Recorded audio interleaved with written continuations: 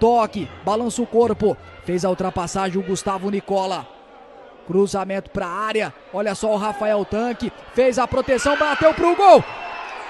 Gol! Do cruzamento para a área. Ele protege, usa o corpo como bom centro. A bola foi praticamente daí.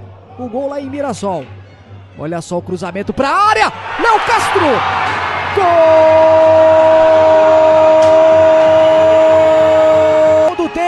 tempo na linha de fundo. Um cruzamento na medida para o Léo Castro. Vem o João Gabriel, pega muito bem na bola, cruzamento fechado, na trave, no rebote. Gol! Na trave e no rebote, de cabeça, de cabeça o Gustavo Nicola deixou o torcedor da